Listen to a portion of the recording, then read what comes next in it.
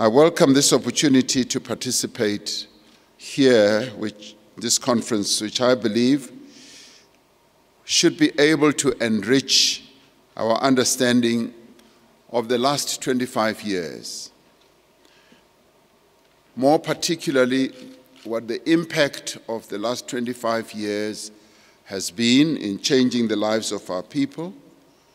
But one also hopes that this dialogue will also contribute to enable us to form a common vision with regard to the next 25 years. One welcomes this opportunity because a number of organizations are now engaged in examining what the past 25 years have meant to the people of South Africa. The ANC is finalizing a document entitled 25 Year Review of ANC Policy Implementation. At government level, we will soon be publishing a 25 year review.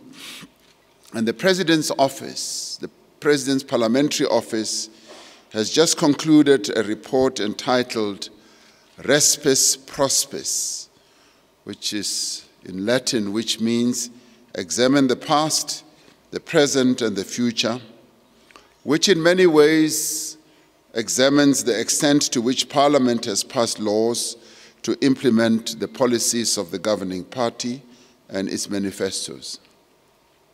So, what we are doing today will add to the wealth of knowledge about the past 25 years, and in some ways, a number of other institutions are going to be doing the same. And so, this review process of the last 25 years will soon become a national sport, and let us all participate in this sport today. Now, the issue of determining the impact of what we would call the national democratic revolution over the past 25 years is in some ways reminiscent of the moment when Henry Kissinger in 1972 met Premier, the Chinese Premier Zhou Enlai, and it is said that he asked him what he, Zhou Enlai, thought or believed was the impact of the French Revolution. It is said that Zhou Enlai took a deep breath and, after a pregnant silence, said, It is too early to tell. Given that the French Revolution of 1789 had occurred nearly 200 years before, Zhou Enlai was expressing the long view of history in a very witty and Oscar Wildean way. News of this quote by Zhou Enlai immediately flew around the chattering classes in the West, and it soon became used as evidence that the Chinese, especially the Chinese intellectuals and leaders, took a long view of things, that they were a patient civilization, and that when they thought about the future, they always thought about the future in hundreds of years and not in just a few years.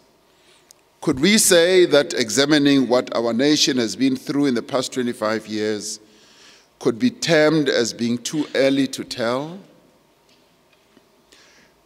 Is patience one of our key attributes as a nation? One would ask.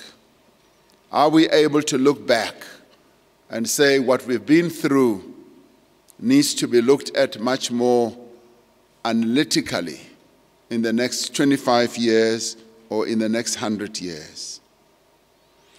But this engagement is essential if we are to arrive at an understanding of what the 25 years uh, the past has been and what it has meant so that we can forge what I would call a durable and a lasting understanding across society of what these 25 years have meant and how we need to craft a vision for a future for the next 25 years. But this conference fulfills a dual purpose. Firstly, it is an opportunity for us to assess progress towards the achievement of our overall and overarching vision. A vision of our national democratic revolution, which is a vision to have a non racial, non sexist, democratic, prosperous, and free society. Secondly, it is a platform to identify the challenges, the opportunities, and tasks of the present as well as the future. And in reflecting on these issues, it would be important to consider the priorities, the tasks, as well as the recommendations contained in some of our national plans. And we've had quite a number of national plans, such as the Reconstruction and Development Program and others, but more especially our current plan, the National Development Plan. Based on our extensive, on an extensive diagnostic report which provided what many people regarded as a very frank assessment of the state of our nation. The National Development Plan sets out a clear vision to 2030. It is our hope that this conference would also give attention to the program that we have set out for the term of the sixth democratic administration. Through the State of the Nation address and departmental budget votes that have just concluded, we have described the measures that we will define, that will define our developmental pathway for the next five years and beyond. Research and academic institutions have a critical role to play in advising government, in providing the necessary data, and in terms also of informing our planning models. As I said in the State of the Nation address a few weeks ago, this is a government that is not afraid of new ideas. And in fact, it is a government that is welcoming to new ideas. And we are also welcoming to new ways of thinking. And our engagement with intellectuals and academic people is a clear proof of that. We want as many ideas as possible to be put on the table. We do want to work with key role players and especially intellectuals to bring added rigor to the work of government. We look to you to continue to be a voice of both sensibility and conscience, but also of criticism in our national life. In his famous Reith Lecture series on the representations of the intellectual, Edward Said posited the role of the public intellectual against what he termed the insiders. It is these insiders, he said, who mold public opinion, make it conformist, and encourage reliance on a superior little band of all knowing men in power. The public intellectual, by contrast, does not promote special interests, but is at the forefront of questioning patriotic nationalism, corporate thinking, and a sense of class, racial, and gender privilege. The role of the public intellectual goes beyond speaking truth to power, important as that may be.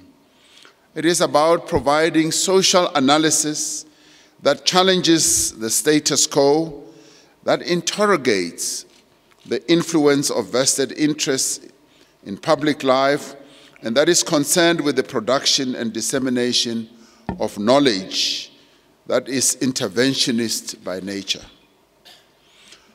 Today, we ask that such critical analysis be directed at our experience of the 25 years of nation building. There is very little contestation throughout the country on the assertion that South Africa is a vastly different place to what it was in 1994. As a 2018 report published by the South African Institute of Race Relations notes, we are sometimes too modest about our achievements. A report titled Life in South Africa Reasons for Hope, which report was drafted and led by Kelebogile Leepile. I saw that she's on the program some uh, in later on uh, during this conference.